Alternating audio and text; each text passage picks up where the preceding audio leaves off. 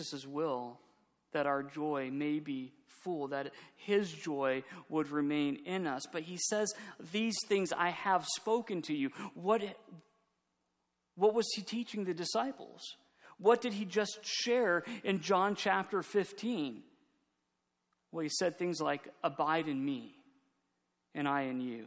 As the branch cannot bear fruit of itself unless it abides in the vine, neither can you unless you abide in me. I am the vine, you are the branches. He who abides in me and I in him bears what?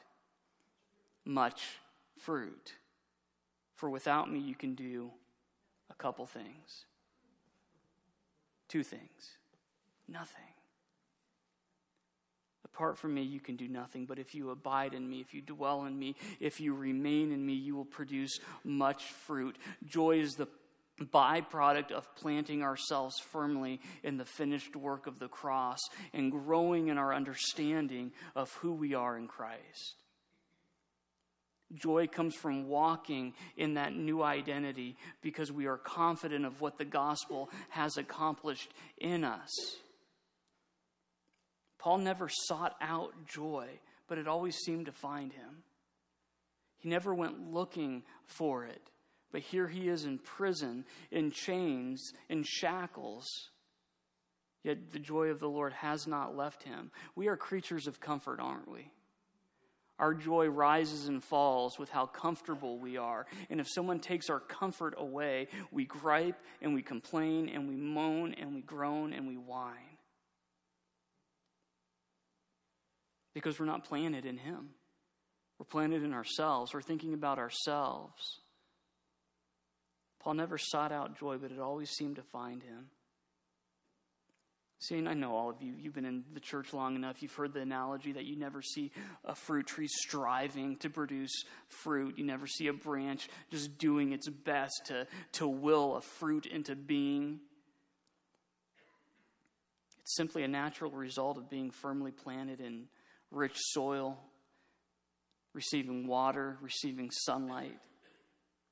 And the longer that tree stays in those conditions, the more it matures, the more it grows, the more fruit it bears, and the more and that analogy carries through to us. The more we remain, the more faithfully we remain in Christ, the more fruit we, we produce. We become more spiritually mature. And again, the byproduct is true lasting joy. It's important because the joy of the Lord is our strength. Too many weak Christians today.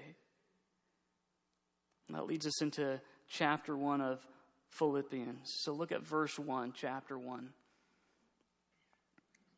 Paul and Timothy, bondservants of Jesus Christ to all the saints in Christ Jesus who are in Philippi, with the bishops and deacons, grace to you and peace from God our Father and the Lord Jesus Christ.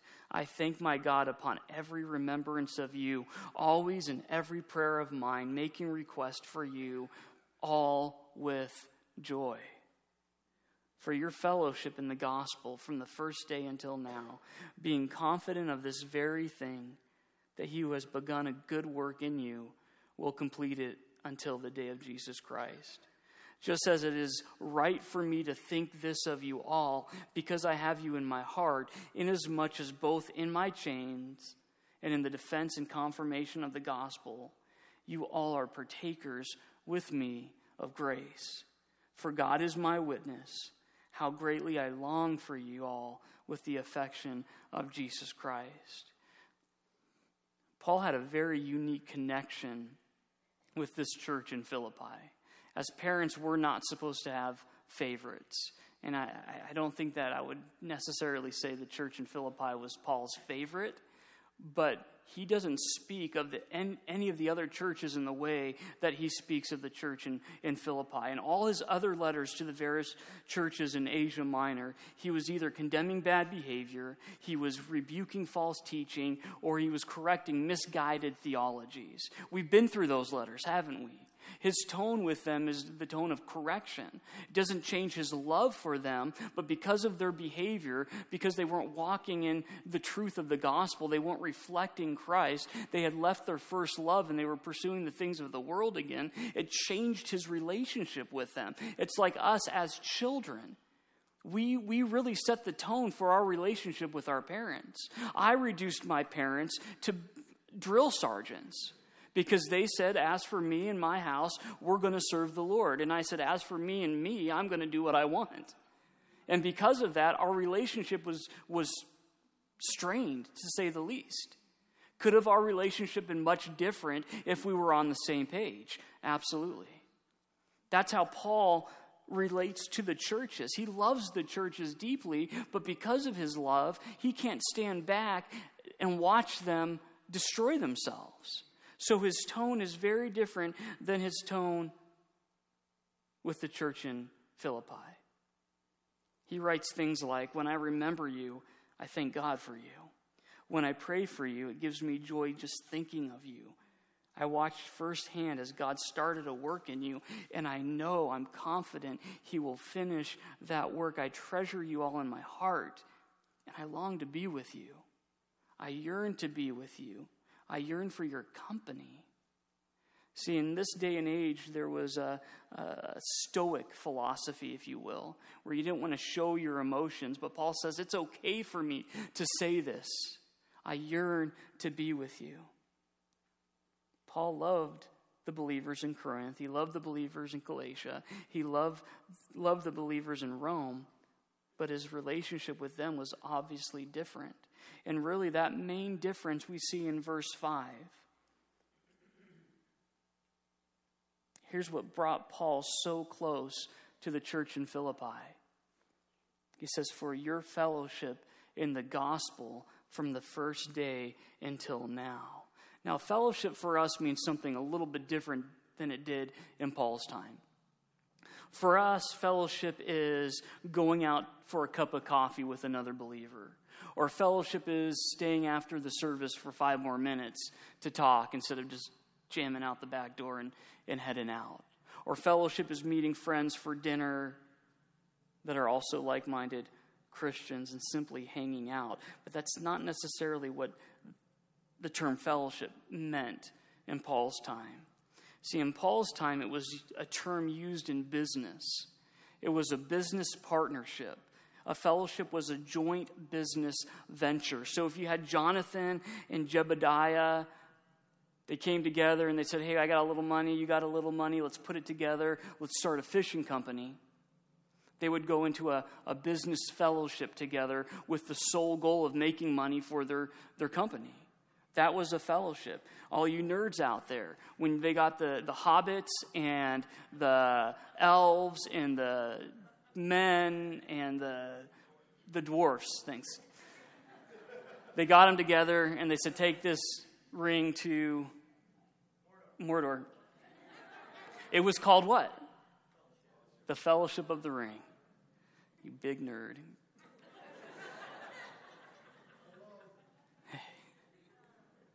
It's not simply hanging out. It's brothers and sisters coming together under a common cause. And what was that common cause that Paul had with the believers in Philippi? The gospel. Seeing men and women come to a saving faith in Jesus Christ. They were on the same page, they were one in mind. Paul wasn't in the business of selling Jesus. But he uses this term here to describe their like mind, their shared priorities, their singular aim of making the hope of the gospel known to the world. They had common goals. See, this centrality of the gospel is what brought Paul and the Philippians so closely together in fellowship. The gospel was their primary shared interest. And because of this, Paul could relate to them. He could connect with them because they were of the same mind, because they were both spiritually mature. My na- the nature of my relationship with my oldest son, Luke, has changed tremendously over the years. He's 10 years old now. And the reason it's changed is because he's growing up. He understands deeper things now. We can have deeper conversations. And he was adorable as a little baby. And as much as I wanted him to stay in that form, if he did, something would tragically be wrong.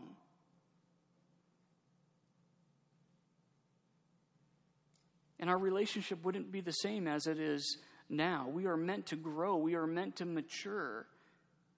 Paul didn't have the same relationship with the other churches because they weren't growing up. He couldn't relate to them. His chief aim was to see Jesus glorified, but in many cases, their chief aim was to glorify themselves. What does he write to the church in Corinth? In 1 Corinthians 3, verses 1 through 3, I'll just read it to you. And I, brethren, could not speak to you as to spiritual people but as to carnal, as to babes in Christ. Not that kind of babes, but babies, little babies. As to babies in Christ. I fed you with milk and not with solid food, for until now you were not able to receive it. And even now you are still not able, for you are still carnal. For where there are envy, strife, and divisions among you, are you not carnal in behaving like mere men? You're not acting like the new man that you are. You're still walking in that old nature. And because of that, we're not on the same page, and I'm left to simply correct and exhort and persuade Instead of us being like minded and working together for the furtherance of the kingdom of God, I'm stuck talking to you like children. He says, Grow up. This isn't your new identity. This isn't who you've been made to be in Christ. So, to understand this, that's Paul's mindset as he writes to the Philippians.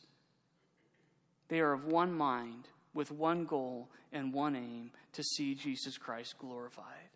Look at verse 9. And this I pray that your love may abound still more and more in the knowledge and all discernment, and in knowledge and all discernment, that you may approve the things that are excellent, that you may be sincere and without offense till the day of Christ, being filled with the fruits of righteousness which are by Jesus Christ to the glory and praise of God. So, because of the maturity of the Philippian believers, Paul's letter to the Philippians is going to give us a unique perspective compared to his other letters. We are going to see what the, the we are going to see firsthand the impact that mature believers have on their culture. We are going to see the impact of men and women who understand and are constantly growing in their new identity in Christ, the impact that they can have on the culture around them. We can't read this book and say, oh, I need to be like that, I need to do that. Because everything we see in Philippians is the result of them abiding in Christ taking it upon themselves personally to cultivate a very real and meaningful relationship with Jesus. Because Jesus has already made the way for that, He has already cleared the path, He has already torn the veil between us and God. The work is finished.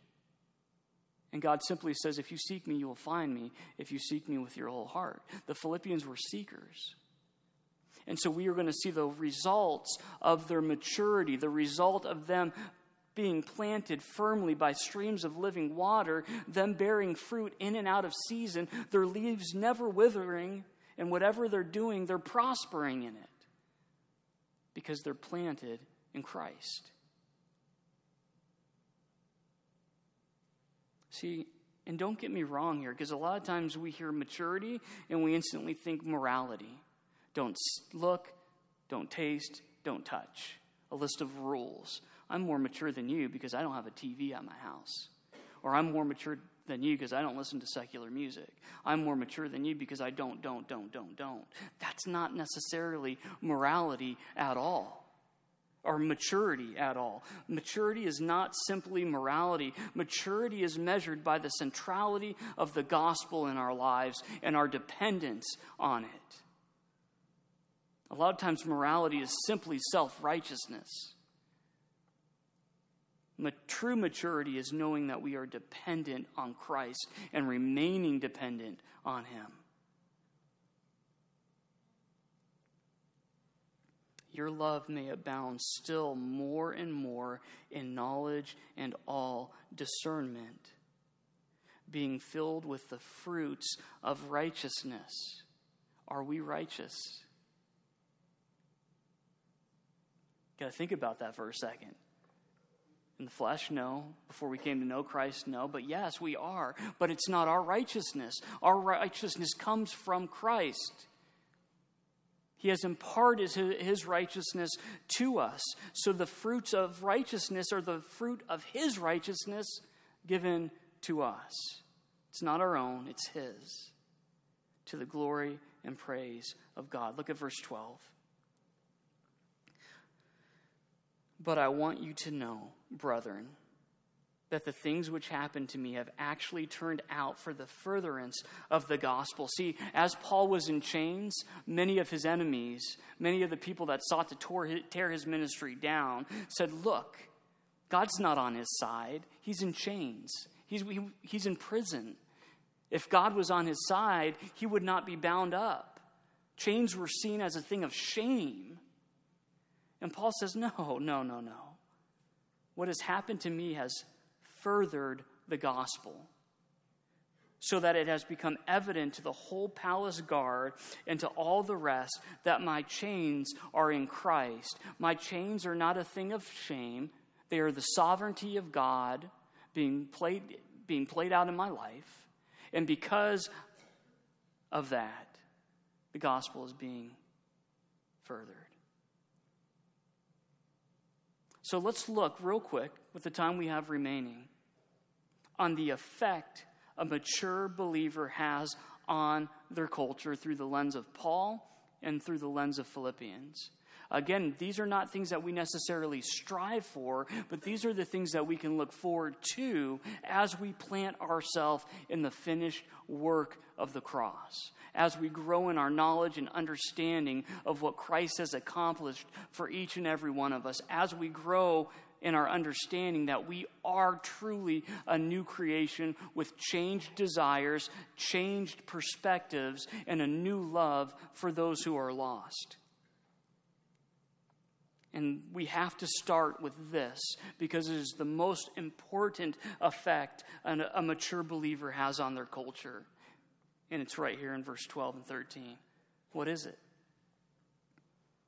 The primary effect, the most important, most important, the reason we're here this morning salvation. Salvation, redemption, reconciliation when a man or a woman is surrendered to the Spirit of God, growing in his knowledge and understanding of what Christ has done for them, maturing, God will use them to bring others to Christ. Isn't that worth it alone? Can't we stop there and say, Yes, I want this joy. I want this fruit. I want to see men and women come to know Christ. I want to see legacies changed. That's the effect a mature believer has on their culture. It's one of the reasons Paul found joy in his various trials because he knew that Christ would be glorified and people around him would get saved. That's why he rejoiced in all suffering. And he was seeing this happen in Rome. That guard that he speaks of, that Roman guard, that's more than 9,000 men. Now, did 9,000 men come face to face with Paul during his imprisonment? Probably not. But it meant that the story of Paul and ultimately the story of Christ spread through the palace guard. Because you couldn't sit down and talk with Paul without being moved. Here was, here was a man completely sold out to his cause. Here is a man completely surrendered and committed to the cause of Christ, and he would not relent, even at the opportunity of freedom. Here's a man suffering for his cause. 9,000 men heard about Christ. men were getting saved.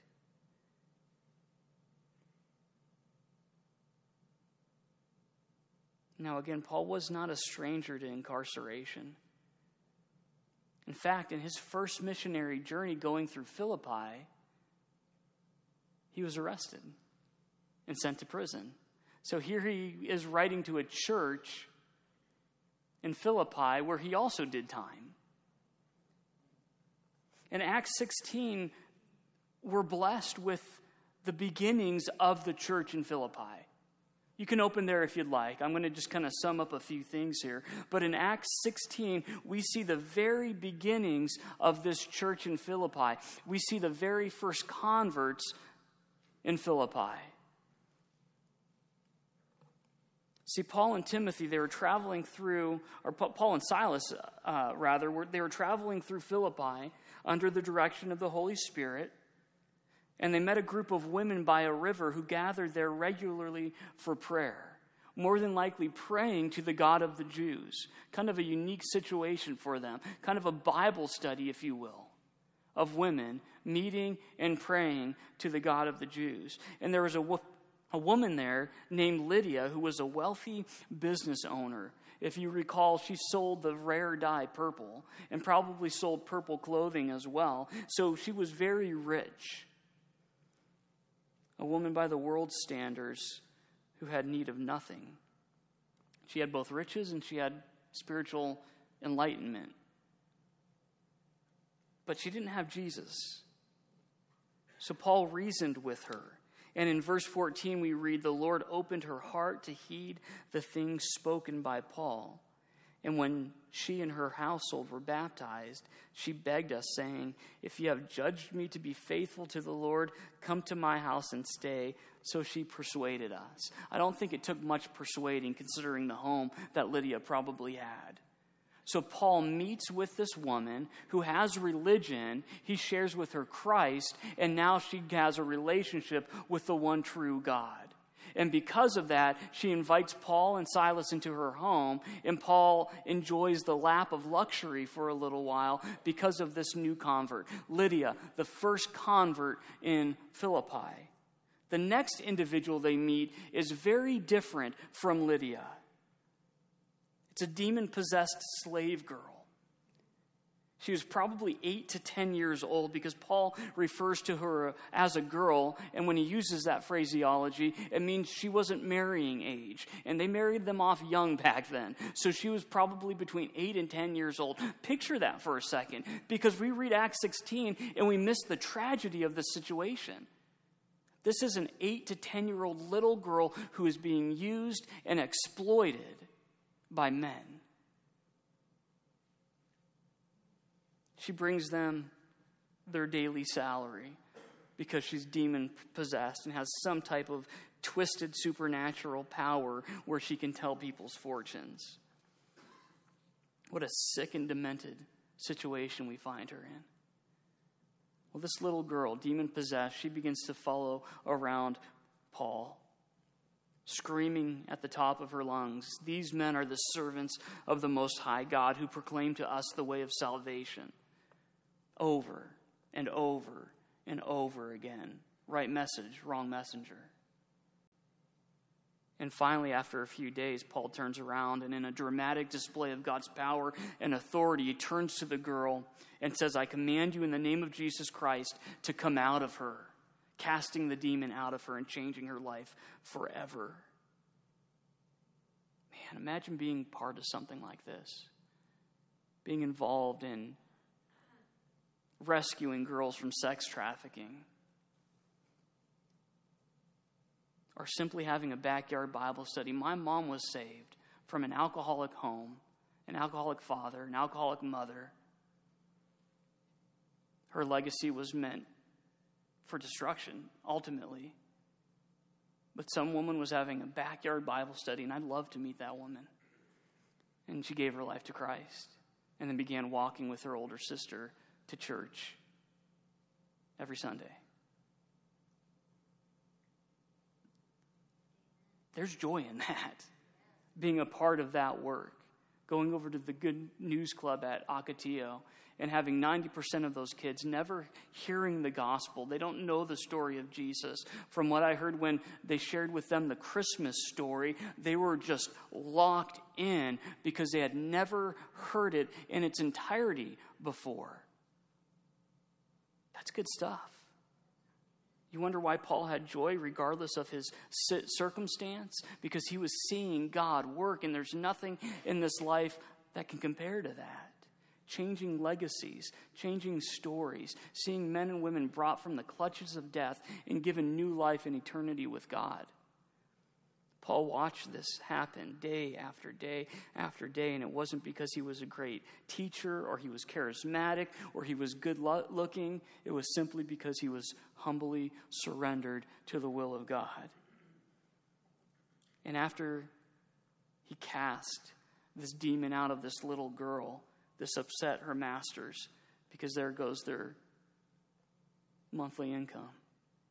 And eventually, he gets thrown in prison for it. So he goes from Lydia's mansion to prison, all for the same work. We got to be prepared for that. Sometimes when we share the gospel, it's going to our circumstances are going to change and for whatever reason we're going to be blessed by it. Maybe people will give gifts, people will pat us on the back, We'll be appreciated. Don't get addicted to that. Because there's going to be times where it's thankless and you'll be torn apart by the very people that you are laying down your life for. They'll talk about you behind your back, they'll condemn you, they'll say things like, You think you're better than me? We need to be in it for the long haul, regardless of the circumstance, regardless of what we think to be the fruit. Paul never wavered in his singular focus on the gospel being proclaimed. So, what did he do in prison? How's that story go? He gets thrown in jail and he's like, Man, God, what are you doing? I was sharing the gospel like you told me to, and now I'm in prison. This stinks. Kicking rocks, sitting in the corner, whining. No, what was he doing? He was singing, he was praising God. And it's interesting because we read in Acts 16 23, and when they had laid many stripes on them, see, they beat Paul first. They beat Paul and his companions first for changing this girl's life forever. Kind of backwards thinking, and that's the world we live in. It's a little upside down. But Paul is beaten for casting out this demon and they threw them into prison, commanding the jailer to keep them securely. Here's this jailer, and all he's told is to keep them safe. And you know what he does? Look at verse 24. Having received such a charge, he put them in the inner prison, and he fastened their feet in the stocks. And when you hear the word stocks, you think of like medieval stocks. You stick your head in, you have your hands in it, they lock it, and you're in like the center of town, and people come and throw tomatoes at you or whatever they did back then. But the stocks in Rome were a torture device. So this jailer did his job, and he did it well, and he did it a little too well. So he's told to keep Paul safe, and he's like, okay, I'll keep him safe and I'll torture him. But Paul's still singing praises with his companions. And here's this jailer who's probably a former GI, a former soldier. He's kind of a blue collar, middle class kind of guy, I believe. And he's just doing his job. He's probably looking forward to going home after his shift and spending time with his family. He has no idea what's about to happen next. Because as Paul and his companions were praying and singing hymns to God, and all the prisoners were listening to them, there was a great earthquake and the foundations of the prison were shaken, and immediately all the doors were open and everyone's chains fell off.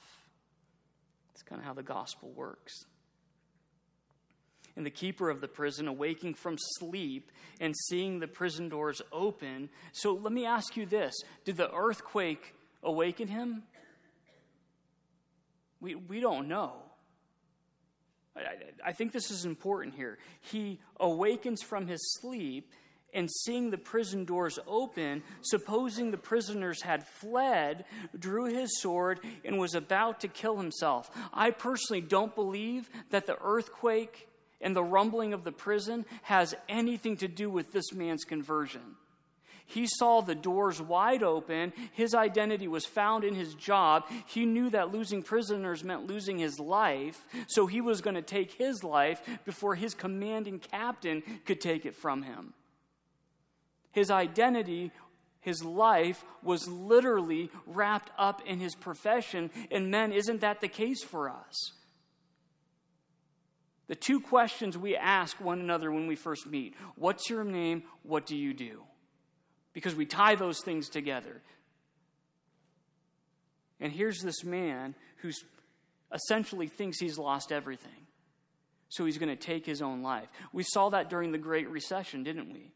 Men involved in banking, after the collapse, they would kill themselves or they would kill their entire families and then kill themselves. Story after story after story of men who had everything tied up in their jobs, and once that job was gone, their life was over. So here's this blue collar guy ready to take his life, but the prisoners aren't gone, they stayed in Acts 16, verse 28. But Paul called with a loud voice, saying, Do yourself no harm, for we are all still here. Then he called for a light, and he ran in, and he fell down trembling before Paul and Silas. And he brought them out and said, Sirs, what must I do to be saved? So they said, Believe on the Lord Jesus Christ, and you will be saved, you and your household. Then they spoke the word of the Lord to him and to all who all were in his house. And he took them the same hour of the night and washed their stripes. He cared for them, and immediately all he and his family were baptized. It wasn't the earthquake, it wasn't the miracle. It was the fact that here's this man who could have fled. He had his freedom. He could have been long gone, but he stayed. And because of that, he saved my life. What's going on with this man? What is this thing that he has spoken of? I'm ready to listen now. See, real life, everyday evangelism. That's what was taking place here. But look, look at these three stories. How radically different are all three of them? But we build churches on just one of them. Oh, you can only save someone through careful theology. You can only save someone if you sit down and you reason with them. Not, again, that has a huge place in sharing the gospel. We need to know the fullness of the gospel. We can't throw out some funky idea about how to get saved and think, okay, God will take care of the rest. We need to be grounded in truth. But sometimes he does something radical. Paul casted out the demon from this girl, and my hope is that she came to saving faith in Christ. And then here's this jailer that sees Paul living in a way that's completely different than the world. Anyone who was in, of the world would have ran when those gates were open. But Paul did something completely different. And he said, What's going on in your life? How, do, how must you've been talking about my need to be saved because I've been stuck down here with you for who knows how long. I'm ready to listen now.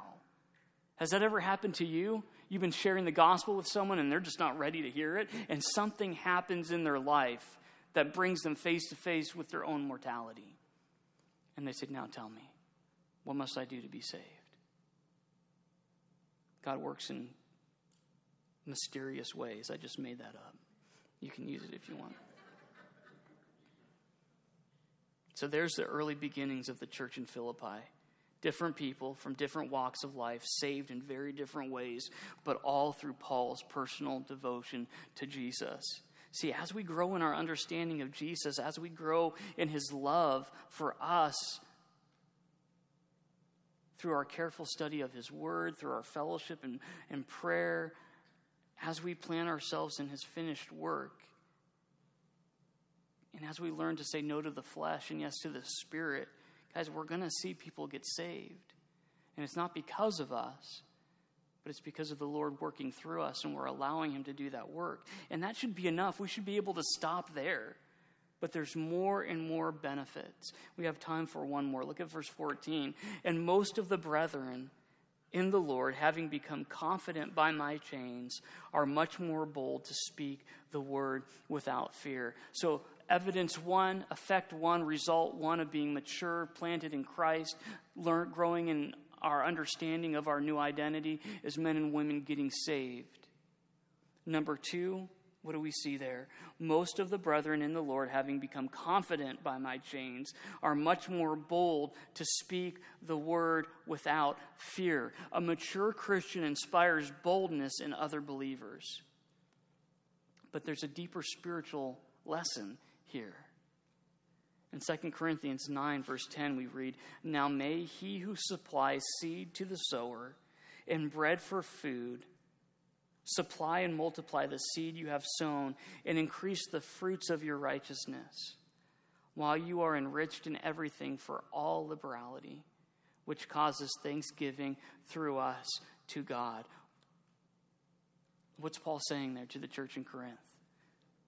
That a mature Christian inspires other Christians to be mature. I know it's rocket science. But a mature Christian inspires other Christians to be mature. It's contagious. See, as we walk in the Spirit and as we exercise our gifts with excellence, because God doesn't give cheap gifts, and each one of us is new, uniquely gifted, as we experience the joy of the Lord, other believers will desire that very thing in their own lives. So I want to ask a question. This is really important. Does the way you and I serve the Lord inspire others to do the same? Whether it's here at church, whether it's home with the family, whether it's at work. Does the way we go about serving the Lord inspire others to do the same, or does it discourage them? Because I guarantee if you do what you do without joy, nobody will want to be a part of it. See, we know the harvest is plentiful and the, the laborers will always be few, but it doesn't say the laborers are none, right? There will always be a few. And are we inspiring that few to come and join us? See, Pastor Chuck inspired to go out and teach the word of God. And when someone asked him, What is it about the way you go about your business?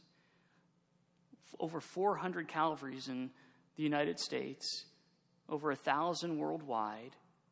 What is it about the way you serve God that inspires other men? And his response is, They figured if I could do it, anyone can. And that's that should be true about whatever we do. If we're leading worship, are there people lining up to be a part of what we're doing? If we're leading in the children's ministry, if we're setting up tables and chairs, whatever we do in the Lord is what we're doing replicating. And if it's not, I know we can fall back on, well, the workers are few, but let's not use that as a cop out when in reality, there's no joy in what we do. And we're simply pushing people away because the reality is what we do here should be a blast. It should be awesome. Friends coming together to see men and women and children come to know Christ. There should be a ton of joy, but a lot of times it becomes a routine, it becomes a chore, it becomes a task. Something that we don't look forward to, and it was never meant to be that. Has your excitement for being involved in ministry dwindled to nothing and now it's a chore? The reason it's gone is because your joy's gone, and the reason your joy is gone is because you're no longer planted in Christ. You're planted in yourself, you're planted in the world.